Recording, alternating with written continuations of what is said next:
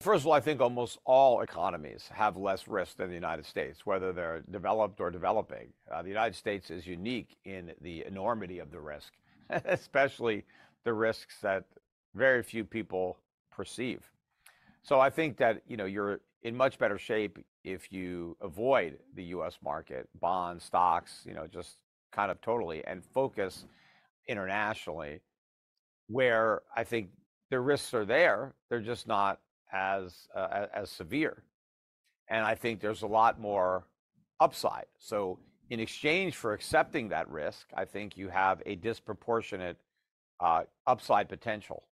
Whereas the United States, I think the upside is very limited and the downside is is is quite substantial, especially when you view it from the prism of uh, let's say gold, uh, real money, as far as how much value U.S. assets may in fact lose if you price those assets in gold. You can't simply look at what the price of stocks would be or bonds in dollars if you have a moving target because the dollar is collapsing. Uh, and so it's hard to measure the value of something when your your ruler is constantly shrinking, right? So you, are not going to get a, a a good result. So I think look, looking abroad, and investing abroad, and uh, foreign stocks, uh, dividend paying value stocks. I mean, that's what you want to do. That strategy has been paying off. We substantially outperformed the U.S. markets last year with positive returns in our dividend payer strategy and our value strategies uh, even despite the strong dollar, because these were all international stocks that managed to, you know, close the year, you know, in the black, you know, while the Nasdaq was down 30%, you know, and, and, and smaller declines in the S&P and Dow, but still substantial declines. I mean, I think they will benefit. I think commodity prices are headed much higher, and that would benefit Brazil. I mean, there are a lot of other things that could benefit Brazil. I don't know if they'll happen. Uh, but I have some investments in Brazil because I believe that the commodity boom is, is still young and has a long way to go. And I think Brazil will, will benefit from that. And they're not the only country that will, but, but they're one. Uh, but, you know, Southeast Asia in general, I think is going to do extremely well as a result. I mean, the countries that are producing the most and saving the most are the ones that are in the best position to prosper during the coming decade. It's a country that is dependent on debt uh, and consumer spending for its GDP growth, countries like that, which of course, you know, the United States is the poster child for that kind of a dysfunctional economy, uh, those economies are in a lot of trouble. Yeah, I think it's quite probable that silver will outperform gold, especially as we get to the, you know, the latter part of the bull market in uh, precious metals, which I think still has a long way to go and yes, I think that there are new uh, uses for silver. You know, at one point, silver was uh, big in photography, and uh, you know, digital photography kind of uh, temporarily put an end to that. You know, so you didn't need as much silver for for photography. But you know, there's all sorts of new uses that are being discovered for silver that will more than supplant the fact that it's not used in photography to the degree that it was. And so I think, you know, for both industrial and uh, precious metal purposes, I think you're going to see significantly significantly higher silver prices. Well, I mean, I'm pretty bullish across the entire spectrum of commodities. You know, if you're going to have very high inflation, then all those commodities are going to go up in price in relation to the currency that's going down in, in, in value.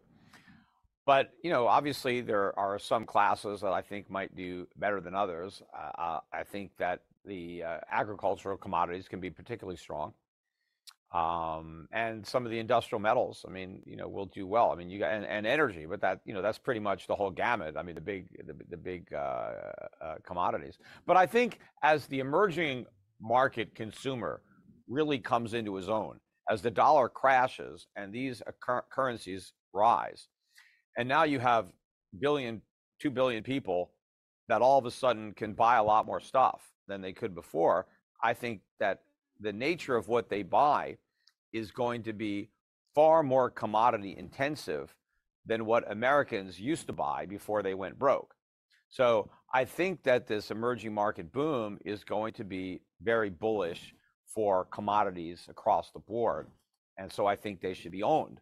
Uh, you don't have to necessarily own the commodity, like have a commodity futures account and just buy some soybeans or some crude oil. You can buy businesses that operate in industries that will benefit from rising commodity prices, in particular, you know, agriculture commodities, if you want that exposure.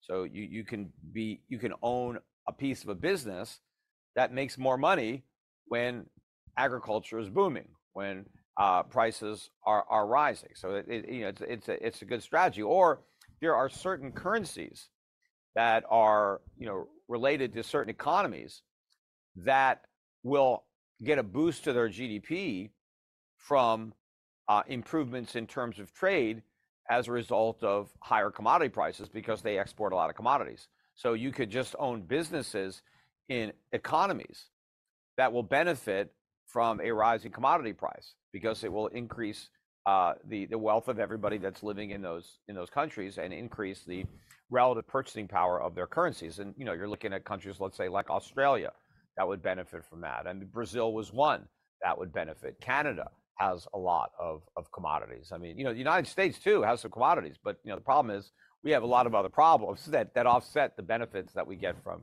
from commodities. Uh, so, Euro Pacific Asset Management, again, that is my uh, asset management company. It is a SEC registered investment advisor, and we work with individual uh, customers. Uh, we uh, manage portfolios that we build. I have a team of portfolio managers that here here working with me, and so if you're interested in having my team and myself manage a portfolio that you have, and maybe you currently have it uh, with another uh, investment advisor or brokerage firm, or maybe you're doing it yourself, uh, but you think we could do a better job, uh, which I believe we can, you could become a client of uh, of my uh, registered investment advisor. Contact their representatives. You can see the the website europac.com above my shoulder. You go to the website. There's a, an 800 number that you can call if you you know would prefer to talk to an advisor about the strategies and and how they may or may not uh, fit into your overall investment plan and whether or not they're suitable uh, for you. Um, so you got that. Then, if you want some physical precious metals, which everybody should have some, you could uh, contact SchiffGold, just my last name, gold.com, and uh, you know talk to the representatives there and get yourself some gold and silver before getting gold, buying gold and silver costs a lot more money or a lot more, you know, better reserve notes that are going to lose value. And make a habit of following me on social media. You know, I've got almost 950,000 Twitter followers, so hopefully I'll crack the million level this year. I, I put out a lot of uh, interesting tweets. In fact, I just highlighted one yesterday where I was watching these uh, Senate hearings, and uh, the senator was asking, or one of the senators was asking this uh, guy from the FDIC, hey, your stress tests were bogus because you only tr- tested for falling interest rates. Why didn't you stress test for rising interest rates? And I pointed to a tweet that I did three years ago in which I said the exact same thing. I said these stress, stress tests are meaningless because they're not testing for what's actually going to happen. Under their worst case scenario, they're assuming that interest rates fall. No, the worst case scenario is that they rise because the banks are going to be very vulnerable to rising interest rates uh, and rising inflation. And I, I, I, hit the nail on the head on Twitter. So the people following me on Twitter are, are a lot more informed uh, than the people who uh, are relying on information from the Fed or anything in, in the mainstream media. So follow me on Twitter. I'm also on uh, Instagram, Facebook, TikTok. I mean, we'll see how much longer Americans enjoy the freedom of being able to access TikTok. we'll see. Uh, but I'm there for now so follow me there and make a, a, a, habit of listening to my podcast. I do two to three a week in general uh, on schiffradio.com. And you can also, if you you know prefer to to watch me as opposed to just listen, you can go to my YouTube channel, and there's video, and I I, I do uh, these uh, uh, uh, you know the, the, the podcasts on YouTube, and and you know you could watch them, listen to them, and share them with your friends. Make sure and subscribe to my YouTube channel. I've got about 540,000 subscribers there. So, uh, you know, a lot further to go to get to a million.